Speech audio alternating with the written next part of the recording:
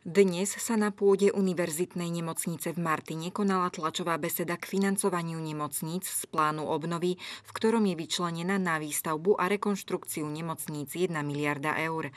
Hovorilo sa o aktuálnej pripravenosti nemocnice budúcnosti v Martine.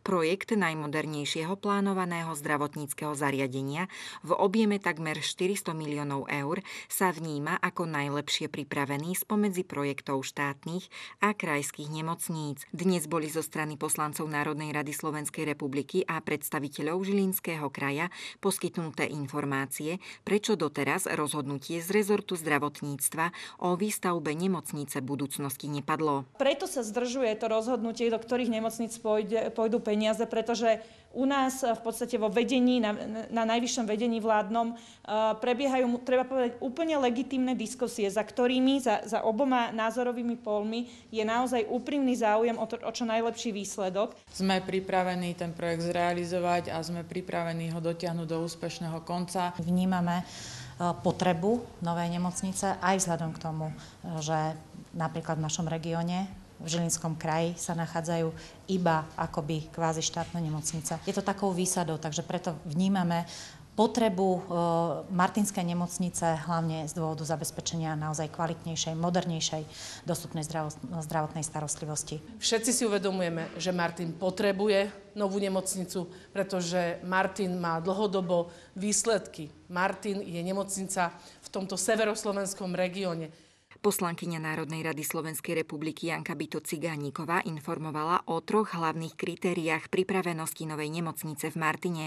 Prvým parametrom je, že plánované zdravotnícke zariadenie je v súlade s optimalizáciou siete nemocníc. Martinská nemocnica toto jednoznačne splňa vo, v drvivej väčšine scenárov optimalizácie siete nemocníc. Druhé, na čo sa pozrime, prosím vás pekne, je tzv. Case Mix Index, ktorý hovorí o komplikovanosti prípadov v danej nemocnici. Martinská nemocnica má, je, má druhý najväčší Case Mix Index, nad ňou už je iba Bansko-Bystrická e, nemocnica. Martin má 1,43 a Banská Bystrica 1,47, dokonca Bratislavská nemocnica má nižší Case Mix Index. Čiže tu opäť dáta hovoria jednoznačne v prospech Martinskej nemocnice. V rámci Severného Slovenska by mala nová nemocnica zahrňať starostlivosť pre približne 670 tisíc obyvateľov. V jednotlivých špecializáciách je to aj už cez milión a pol a pokiaľ by teda prišlo, keď príde k optimalizácii siete nemocnic, budú, bude ten celkový spád cez 1 200 tisíc, ak, mám, ak som dostala správne údaje. Jednoznačne je to teda veľmi vysoký spád a je to, je to nemocnica, ktorá má obrovský regionálny význam. Predsednička parlamentného výboru pre zdravotníctvo taktiež dodala, že pri rozhodovaní, ktorý projekt bude z plánu obnovy podporený, existujú dva názorové prúdy. Minister uh, Lengvarský podporuje to, aby, išlo, aby boli podporené Rástochy, Martin, dve regionálne nemocnice, pokiaľ viem, tak najväčšia diskusia je o Humennom a Rimavskej sobote. Potom je aj iný názor v rámci vlády, ktorý hovorí skôr o podpore opäť Rásoch, ale potom by to mala byť e, Trnava a Prešov.